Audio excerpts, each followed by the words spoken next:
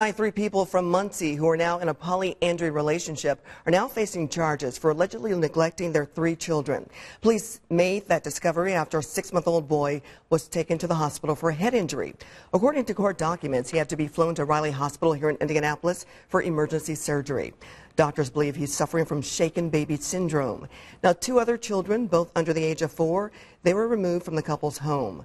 Police say it was filthy and unsanitary with human feces on the floor. The mother, Michaela England, is facing aggravated battery and neglect charges. And Jabin England, the father of the other two children, and Michael Haybegger, the father of the baby, were also charged with neglect. DCS now has custody of all three children.